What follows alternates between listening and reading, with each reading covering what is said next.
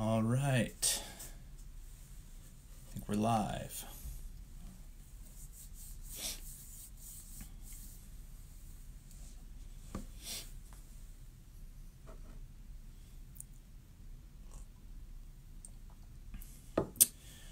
What's up, guys?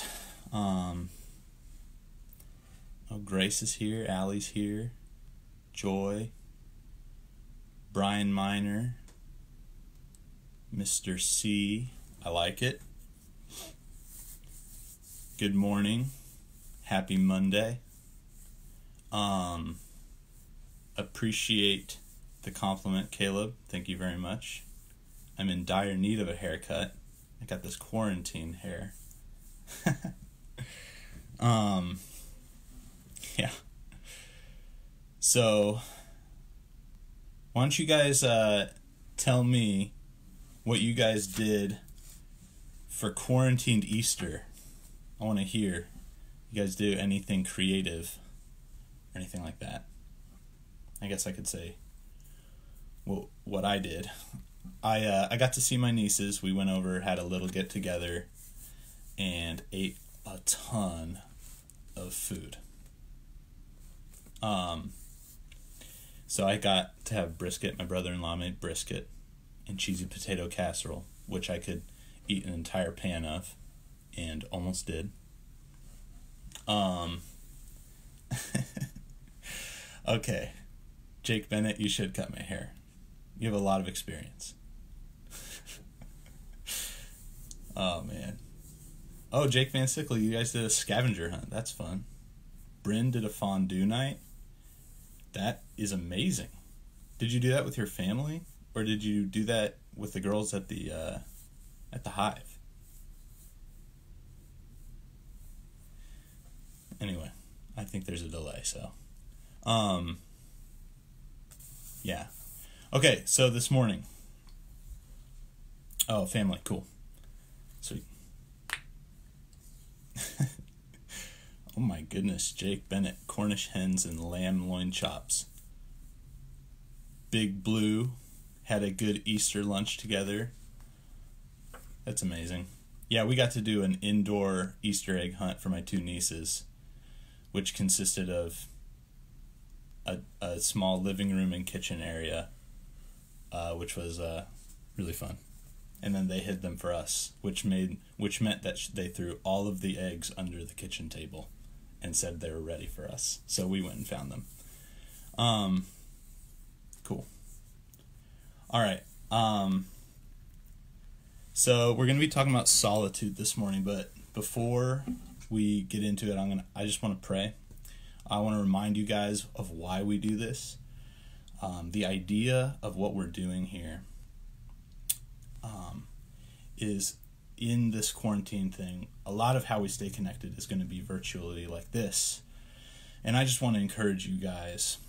Um, that with these devos and with um, all the things that we're doing, we are trying to create rhythms for you guys. We're trying to supplement your your walk with God and trying to encourage you guys um, to just spend time with the Lord um, each morning. And these um, these devos are designed to try and encourage you guys in that.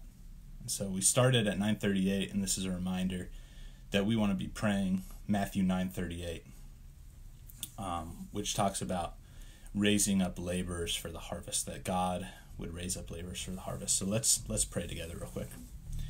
Um, Lord, Father, you are so good to us. Um, we just celebrated Easter, and we thank you so much for everything that you've done for us. It's um, it's beyond comprehension.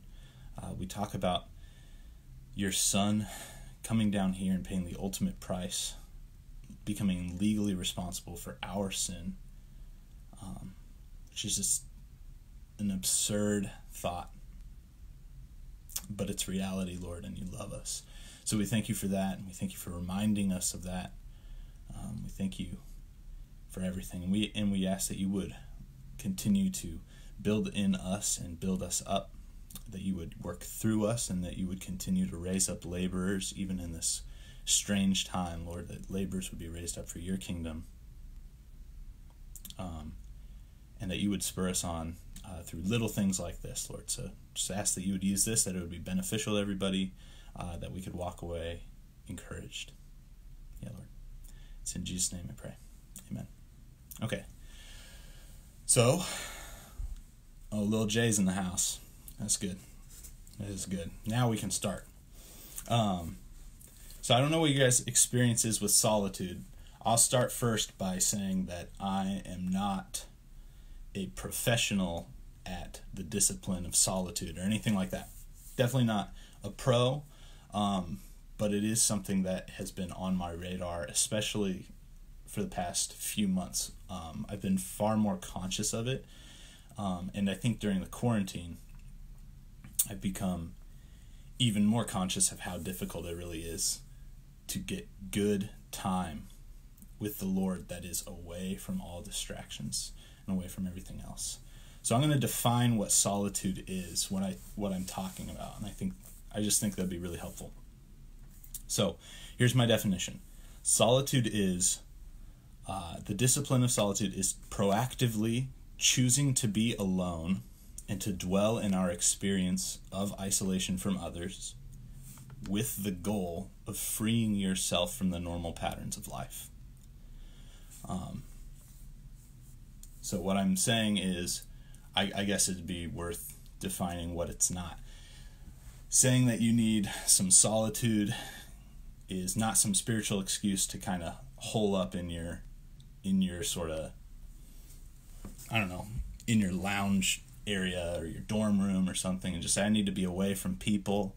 I just want to kind of have me time. And I would say that that's not what solitude is. Solitude is not me time.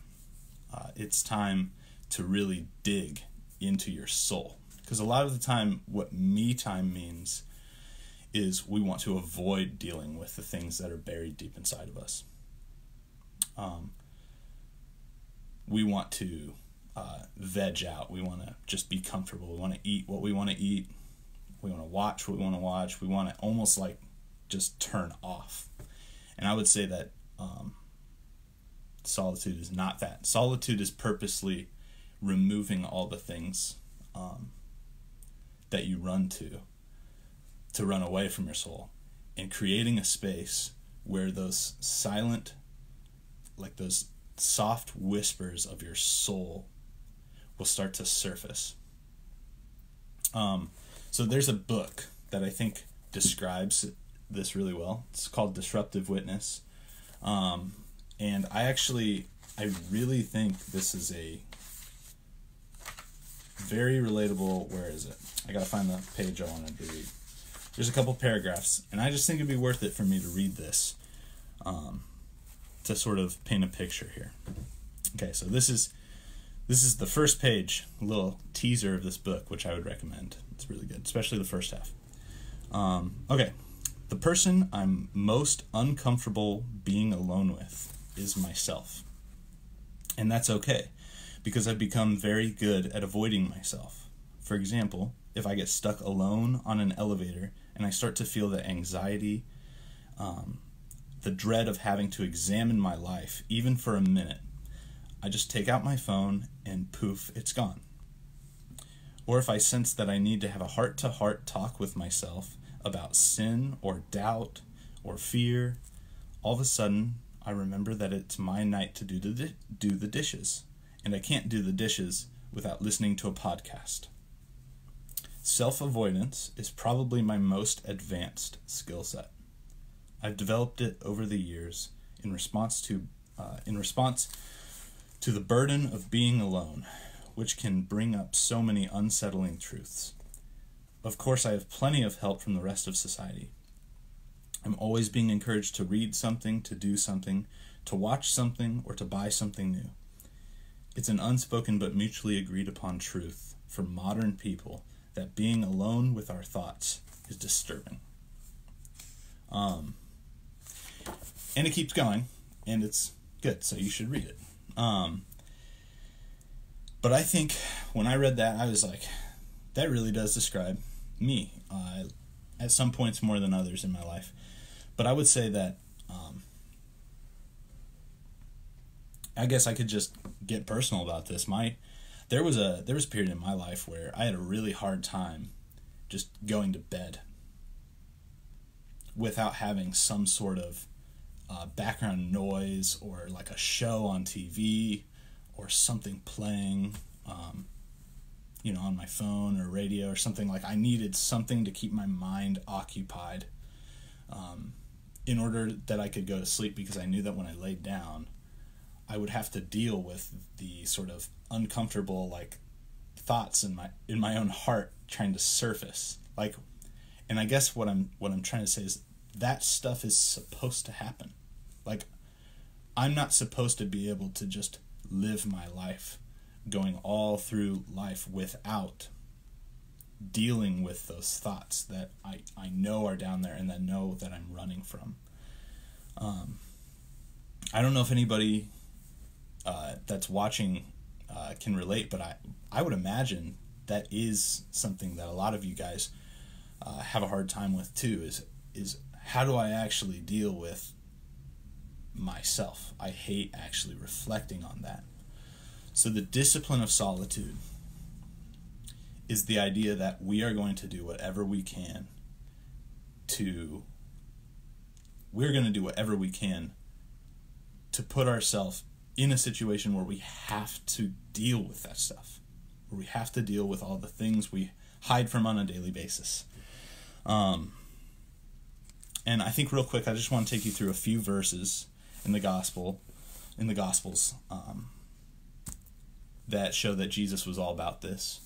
Uh, Jesus was all about getting on his own and figuring things out and dealing with his heart. And he was Jesus, right? We have messed up hearts and he doesn't. So, uh, Matthew 4 1. It says, Then Jesus was led up by the Spirit into the wilderness to be tempted by the devil. Uh, so, that one, he went into the wilderness literally for 40 days without eating or drinking, just to be tempted by the devil. So, solitude is not me time. That's not what Jesus was doing. Um, there's another one, Mark 135 it shows these these verses are showing a trend in Jesus' life. Mark 135 says, And rising very early in the morning, while it was still dark, he departed and went out to a desolate place, and there he prayed. So yeah, I mean this has to do with prayer too, but um, a big part of this was that Jesus woke up in order to get alone, and he would get away from everybody else. He purposely did this um, over and over. Uh, Luke 4 42 says basically the same thing. And when, uh, and when it was day, he departed and went to it into a desolate place. And even there, it, said, it keeps going. It says, And people sought him and came to him and would have kept him from leaving them. So, like, he, even in his pursuit of trying to get alone, people were still chasing, uh, still chasing Jesus down, and he couldn't really just have time to deal with all that stuff. So he had to he had to really set he had to really try hard um, to create to create the environment um, to get away from people. And then the last one I want to point out is Matthew 14, 23. Um, and after he had dismissed the crowds, he went up on the mountain by himself to pray. When evening there he was, uh, when evening came, he was there alone. Um, so what uh, what is this really saying? Jesus had a trend in his life, a pattern that was very clear that he had to get away from people. Um, now, an introvert might, might hear that and say, Amen. Like, that's what I want to do. I just want to get away from people. Um, but that's not the purpose of solitude. The purpose of solitude is to get into this rhythm and we're created for rhythms we're created to engage with people and we're created to get away with from people and so the purpose of getting away from people is always with this in mind it's always with the idea of coming back to people in mind. Uh, one common thing that i've heard I, I don't know if it's actually common but i was looking into this and, and one quote that i heard was that we don't retreat um, from the world we retreat for the world. So the idea is that we want to get away so that we can find resolve um, and peace with with those things that we hate dealing with. So when we actually deal with them, we can come back and we're free. We're emotionally free. We can actually engage with people in a way that's helpful. Um, so, yeah, I want to just help you guys. Um, I want to try and paint a picture of like, okay, so you, this is like this weird concept of um, solitude. What do you what do you actually do? Uh, how are you actually supposed to do that? Um, well, I I did it this weekend. I did it on Saturday. I set a really intentional time for a couple hours to like put myself. I know we're in quarantine. It's weird, uh, but I put myself in uh, one of our rooms in the house uh, that had no distractions really.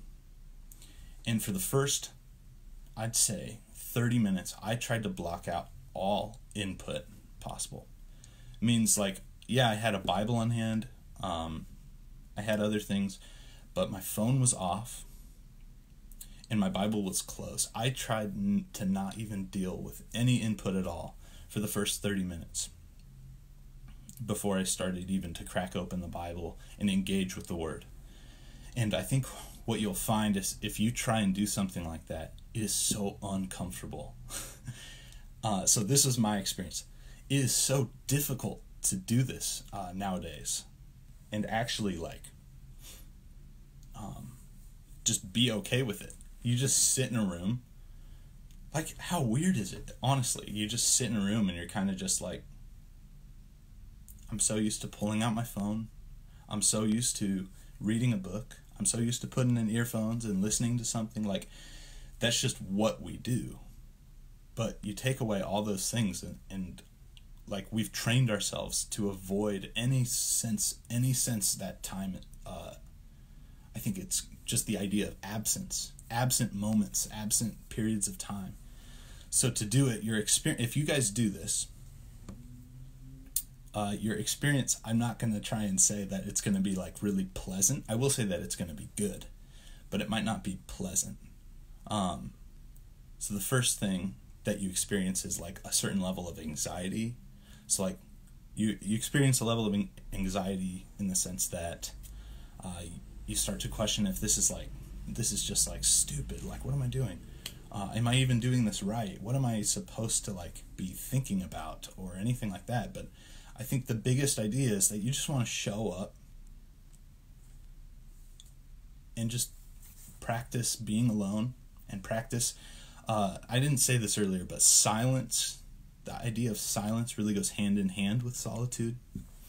Um, so you just want to just try being alone and silence all other input um, and just see what happens. And you'll start out being anxious, probably, if you're not used to it and then you experience probably a, new, a next phase which will be like a huge range of emotions usually uh, not the pleasant emotions usually the pretty unpleasant emotions like um, anger or bitterness. Those things seem to boil up um, to the surface when there's nothing else to really occupy your mind.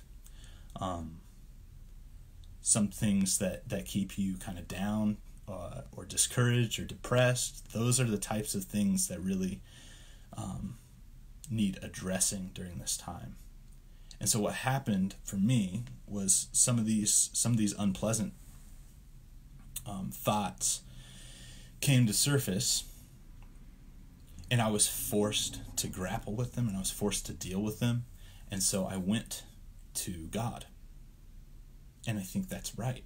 So I blocked out the next hour and a half specifically to just try my best to listen to God. So I want to just listen to Him.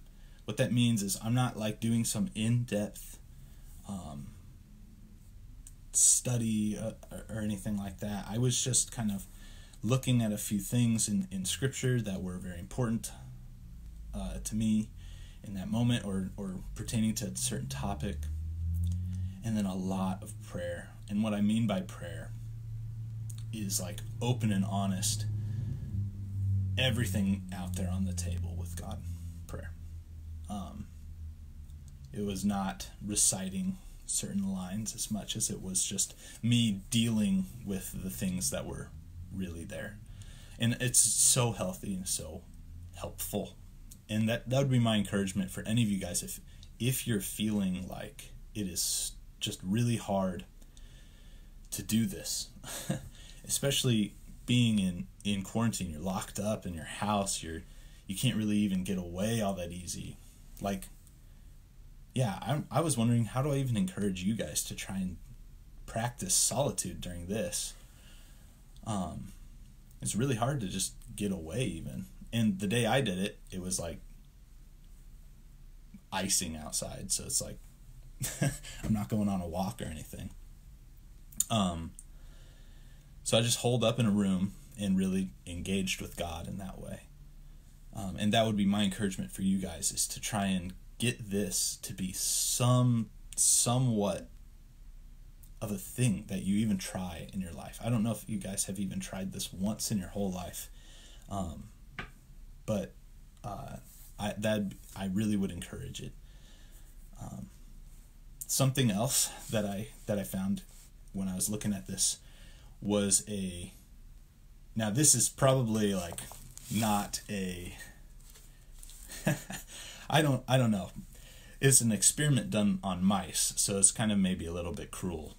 Um, but I was reading in one of the books, and this guy was talking about the idea of solitude, and he found that, um, well, he didn't find it. There was a report done that a mouse, an individual mouse, in in uh, isolation, takes twenty times more amphetamine to kill than a bunch of mice in a community. And sometimes the mouse, the mice in the community, will actually die just because the other mice are dying around them, even if they haven't been given any poison, basically. And so his point was saying, now, does this go against the idea of community? It's like, no. Um, I think what it shows is the power of community and the power of isolation. Um, that community can be an amazing thing if it's godly community and it can really push you. Um, but the same can be true if you don't have good community. If you're just in the world day by day, and I'd say this might even be more relevant when we're in the internet age and you're just scrolling through uh, all sorts of social media, the influence that that is having on you is probably real. The influence that Netflix and Tiger King has on you is probably real. Um, it just it just changes the way you think, and it, that's what happens.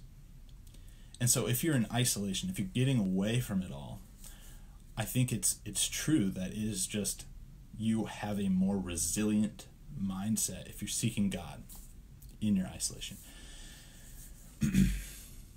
All that to be said, what what has to be done is we have to deal with the things in our heart, and that isn't done.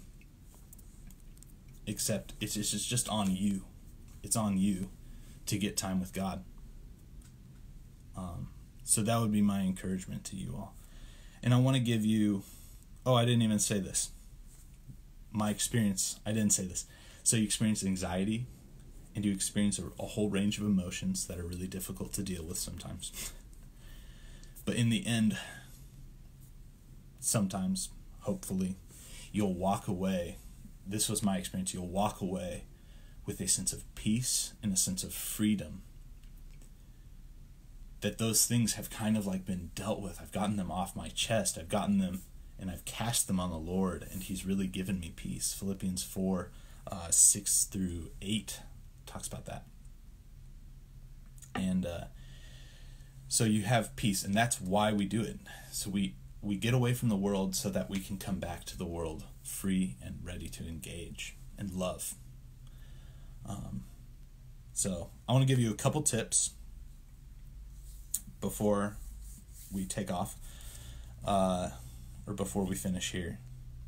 So, how can we do this? Uh, I want you guys to know that a lot of what silence or solitude is, uh, is really like prayer in the sense that really these disciplines go together a lot. Uh, and silence and solitude can be really supplemental to a lot of your other things. Like Bible reading doesn't have to be uh, a separate discipline than uh, being in solitude, and prayer isn't a separate thing. A lot of there's a lot of overlap there. We're just focusing on solitude today, and why it's important. Um, but here's here's the uh, here's the tips. You need to be proactive and not reactive, and this goes for pretty much all the disciplines. You need to be proactive, not reactive. So, if you want to live a life that is like something you're actually like consciously and contemplatively um, living, the opposite of that is just a reactionary life. You need to be proactive and you need to actually deal with things. You don't want to coast through life as if you're browsing on Facebook and you're just liking and reacting to things. That's not how life is supposed to be lived. You want to engage. And I think the only way to really do that is to get away from everything else so you can really think about what you what you're doing with your life. Um, so you want to be proactive, not reactive. And then the my last encouragement would be to start where you're at, not where you should be. Um, so this might be the most overwhelming type of thing to to hear is like go get away for a few hours or even a, a whole day where you just block everything else out and you just kind of devote yourself to um, to just being quiet in the presence of the Lord. Being alone, being by yourself. Um, that is an overwhelming thing. I remember when people said, go spend an hour with God when I was like first when I was first building disciplines into my life and that was like a daunting task to me. You want me to spend a whole hour with God? It's like usually that just means reading my Bible, right? Well, somebody told me to pray for an hour once and I was like, is that even humanly possible to pray for a whole hour? Um it just blew my mind that people would actually do that stuff. And what I found is that oh, it's it's like it's really doable, but you just have to kind of get there. It's like working out. You you can't just bench press 500 pounds day one. Um, so that's what I say. If what it means for you to start practicing solitude means to take 10 minutes in the morning to just get everything else, all distractions out, um, then that's what you should do. Don't think you need to go like on a weekend getaway, isolated like you know Bear Grylls or something, um, just to have some sort of some sort of godly encounter. That's not that's not what we're talking about. We're talking about just being um, getting getting everything off your heart, um, off of your conscience, and getting rid of all the input just so you can be free to engage with your soul. And I know that we are so uncomfortable doing that in our day and age, which is why we need to do it. So that's my encouragement for all you guys. Um, I think that's I think that's everything I wanted to talk about. So I think I'll just end it and uh, pray real quick. So. Yeah, yeah. Father, you love us so much. Uh, you are there for us the whole time, Lord. We are so uh, prone to believe lies about you and about ourselves. Um, we're so prone to wander, uh, but you're there. And you're the same God that you've always been. And you've always loved us. You've always um, served uh, served to the point of death, Lord. And I just ask that you would make it so real to us uh, that these things that we're all maybe hiding from or running away from, the things that we don't want to deal with, Lord, help us to deal with them. Help us to be honest with ourselves and help us not to just believe anything that we subconsciously hear, but that you would that you would give clarity, uh, that you, your Holy Spirit, would guide us in our thoughts, and that we would only believe truth that comes from you, and that anything from Satan would fall to the ground and die. Um, that we would not believe lies, Lord. Um, so help us. Um, because it is so difficult, Lord. And I think it's more difficult than it ever has been. Um, Lord, help us to be comfortable or help us to be okay being out of our own comfort zone. And I ask that everybody who's watching or ever will watch this would actually put this into practice in some way in their life and that you would answer, um, that you would meet them there, uh, that it would be a huge benefit to their life. So it's in Jesus' name we pray. Amen. All right. All right. I hope you guys have an awesome Monday. Good luck with all your classes, and um, if you can, block out some time. Get away from it all and just uh, spend a little time with God. That's it. All right. Love you guys.